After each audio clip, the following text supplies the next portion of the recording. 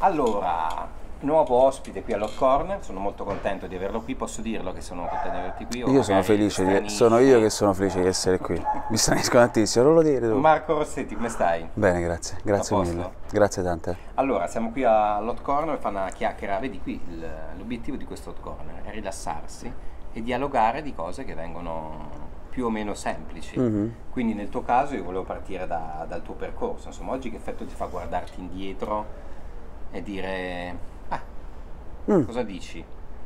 Guardi indietro e dici, eh, Azzo, guarda che stronzo che ero, vedi questo stronzo Eh, sono, sì, devo dire... Mh, mm, sono contento, mi reputo estremamente fortunato per il mio percorso, appunto, per cui mi, mi guardo spesso indietro, eh. guardo spesso quello che ero e quello... Non sei uno di quelli che genera rimpianti, se avessi, se... No, no, no, ho fatto pace, ho combattuto tantissimo con me stesso, combatto tuttora con, con me stesso, ma ho fatto pace con tutto quello che, che è il... Um, il rimorso di un qualcosa che poteva essere, e ho fatto pace soprattutto con me stesso in quanto proprio ho accettato quello che sono soprattutto dopo un periodo storico come questo qua da cui veniamo, che è difficilissimo, conti, con cui io proprio negli ultimi anni e mezzo è stato veramente il più mh, difficile ma allo stesso tempo il più... Mh, paradossalmente sì, stimolante e bello anche per quello che sono proprio oggi, venerdì 16 qui con te, perché, mh, perché è comunque un qualcosa che, che, che mi è servito tantissimo. E quindi se riguardo quello che sono stato eh, vedo un ragazzo molto irrequieto, estremamente diciamo così, incapace di incasellarsi da qualche parte, ma fortunato perché ho avuto la possibilità appunto di sbagliare un sacco di volte per poi essere un po' più eh, centrato e soprattutto chiaro, chiaro con me stesso in questo momento. Ma c'è un ruolo che ti ha fatto cambiare tanto o che ti ha dato più o che ti ha fatto capire anche che eri sulla strada giusta? E hai detto, beh.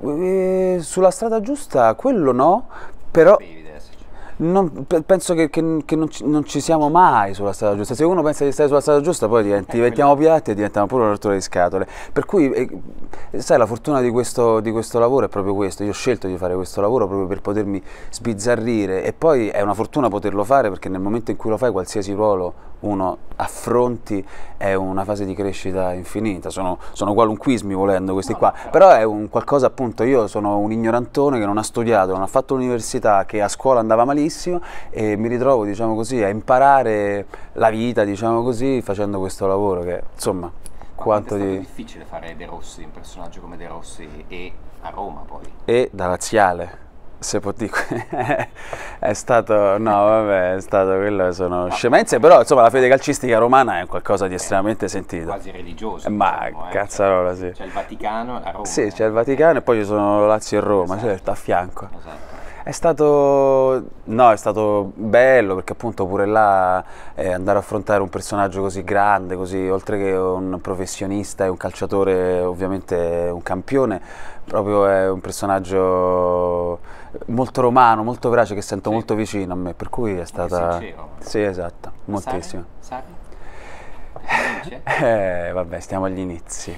Siamo agli ah, inizi. ah, sì. Se parlo con i napoletani mi dicono wow, che fortuna, vengo a vedere la Lazio con te solo per vedere Sari. Gli dico ma che cazzo dici? Ancora stiamo proprio... No. Siamo esatto, cioè, forse sul finale, però insomma diamogli fiducia, è un grande allenatore, sì, vediamo. Poi, purtroppo poi il calcio non ha tempo, forse no, il cinema ce n'è un po' di più, mm. anche tanto rispetto alle ultime cose. Senti chi è il tuo attore mito, il, quello da foto sul comodino se ce l'hai, oppure quello che lo vedi e dici, ecco, se facessi anche un quarto delle cose che ha fatto lui sarei... Allora, io sono cresciuto ehm, con l'immagine di Daniel Day-Lewis come proprio... Che avete... Beh, allora, se, allora, sai quando uno ti dice qual è il tuo film preferito? Allora io credo che, mm, che, che, che, non esista un film preferito, esistono secondo me dei film che segnano dei precisi momenti della nostra vita, no? Come le canzoni. Come le canzoni, sì, come, ma anche come le amicizie, come, come i rapporti. E, e, allora io mi ricordo ancora il giorno in cui la prima volta ho messo piede in un cinema, insomma una delle prime volte e fu con l'ultimo dei Moicani. Per cui, capito, allora dici, eh, e vedi questo Daniel De Luis fighissimo, capelli lunghi che corre, che, che, che, capelli lunghissimi, bellissimi, che lotta contro il nemico, il bene che vince sul male, lui fighissimo, questa sta pazzesca. Per cui sono uscito da là e ho detto wow cacchio, bellissimo. Non ho detto, no, lì ancora non ho detto voglio fare quello, lì ho detto voglio andare a correre con co, co, i cavalli e, co, e con i leoni e queste cose qua, con gli indigeni.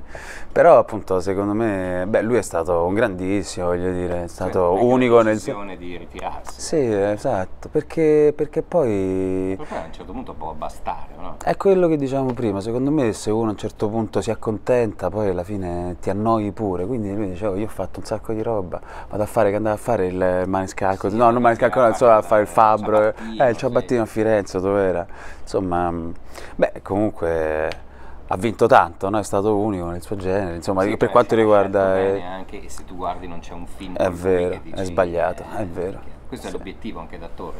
Eh, quella è una fortuna secondo me d'attori. Sì, sicuramente... Può, sì. succedere o...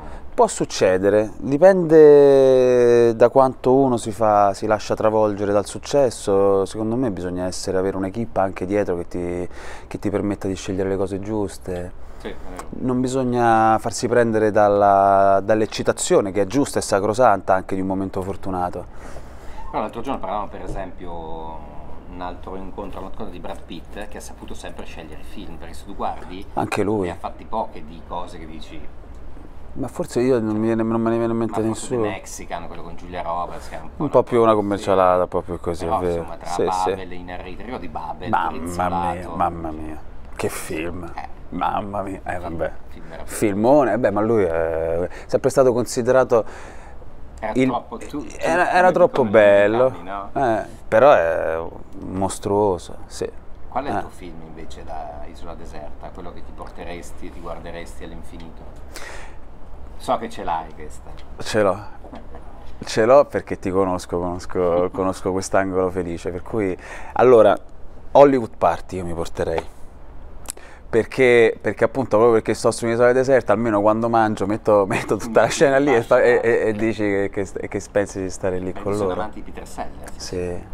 Beh, io trovo che lui sia stato geniale, come ce ne sono stati tanti, però sai, mio padre ci ha cresciuto con Hollywood Party, con i Blues Brothers, adesso non c'entra Ah, nulla, ok. però...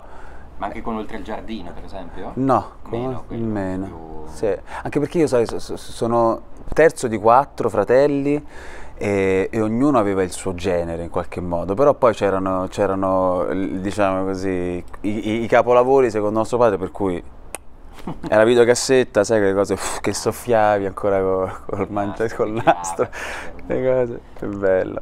E quindi sì, tra questi c'è Hollywood Party, e Hollywood Party, Hollywood Party che è stata forse sì, il mio così, eh, ingresso in quella follia.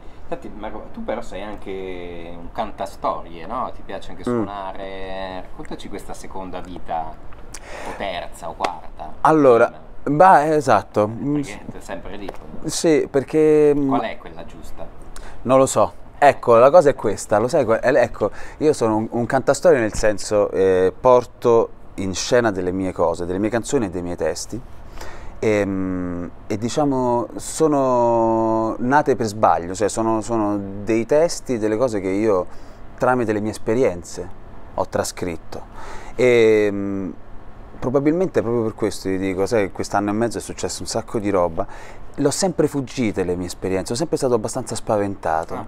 E invece da un po' di tempo a questa parte di tutte quelle esperienze ne ho fatto tesoro e quindi sono riuscito, diciamo così, a crescere e poi avere il coraggio di portarle in scena. E bah, na- Com- come diceva Manfredi, ti accompagni da te? mi accompagno da me, sì, con la chitarra, ma insomma, appunto, io dico, voglio dire che sono un canta austoria, nel senso che non sono né un cantante né, né- né un poeta, cioè Ma si può faccio... vedere da qualche parte qualcosa? Fai... Adesso lo porto in scena da, da- da prima del Covid, questo spettacolo.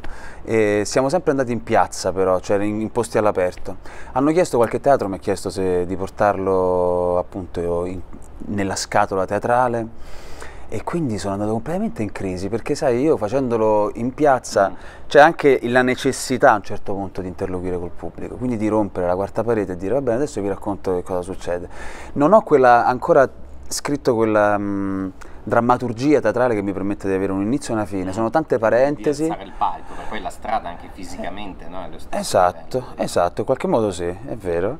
E... Oppure di abbassarsi se, se stai un anfiteatro, però appunto sì, cioè non ho ancora scritto quella, quella, drammaturgia che mi permette di dire ok, vienimi a vedere anche in teatro, ma spero che sarà breve, lo sto facendo perché adesso sto proprio... Vabbè, casomai faccelo sapere che noi... Sì, o se no un giorno facciamo... No, andiamo in piazza, ti porto questo, ci mettiamo e facciamo... Ma quando ti pare? Facciamo... Un... Oppure facciamo, visto che tu hai chiesto un paio di volte, mh, con chi faresti una cena? Puoi invitare certo, su... certo. Quella è una domanda bellissima. Allora te la faccio, dai, facciamo finta che non è della Ok, vai. Senti, allora Marco, facciamo l'ultima domanda qui vai. al nostro hot corner, che non so se lo sai, però ogni mm. tanto facciamo questa domanda. Mm. Allora, questa sera inviti quattro persone a cena. Prepari tu, tu cuoco. Io cucino benissimo. Perfetto.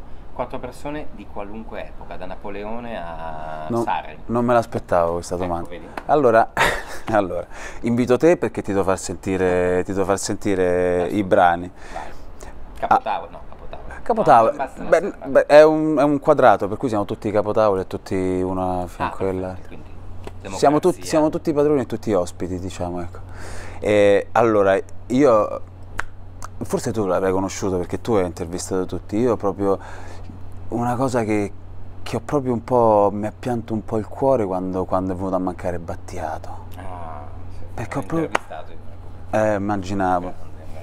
Cioè, io proprio una cosa che dici, sai, sì, per carità è pieno di, di mostri sacri la nostra vita, la storia, però lui proprio aveva quel qualcosa mh, di, di, pazzo e anche di completamente, cioè viaggiava a 360 no, nelle sue canzoni, per cui ecco, mi piacerebbe un sacco. Battiato.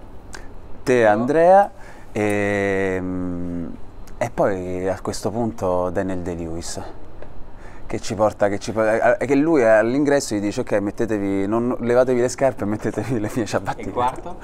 E il quarto ci sto io. No, tu sei fuori. Ah, io sono fuori. Ah. E il quarto... O la quarta. Ehm, o la quarta, adesso ho detto così... Eh, Ciao. Eh no, allora... Mm, e Ursula Andres. Ursula Andres dei tempi. Dei tempi. Ursula Andres quando usciva da, sì, sì, da, dal da, mare della Giamaica. Esatto. Bond, uh, sì. Vabbè, Ursula Andres. Beh, bello. Sì, per, eh, vol- Ursula Andres come già... Volevo dire Nick Cave, poi tu mi hai detto... Eh, hai capito, proprio per quello pure. Perché io sono... Eh, perché... Eh, immagino, eh. immagino. Ma tu hai intervistati tutti. Ma io posso venire a portare questo quando intervisti no, no, loro? questa cosa in piazza, scegliamo una piazzetta. Ma quando intervisti loro mi devi portare? Io voglio venire solo lì a sentirli. Che però a tavola... È tanta roba, è per quello. Tu mi hai detto devi portare una donna, per carità, eh sì. È che, vabbè, io sono così, rubo... Sarri no. Sari, no, de, Sari, de, Sari, de, Sari deve allenare. No, perché sarebbe Sari... Nick Cave e Sari a me piaceva come cosa. È molto interessante, è vero, sarebbe molto interessante, una bella accoppiata. Sì. Grazie Marco per Grazie a te Andrea, grazie a voi, grazie. un piacere, grazie a voi.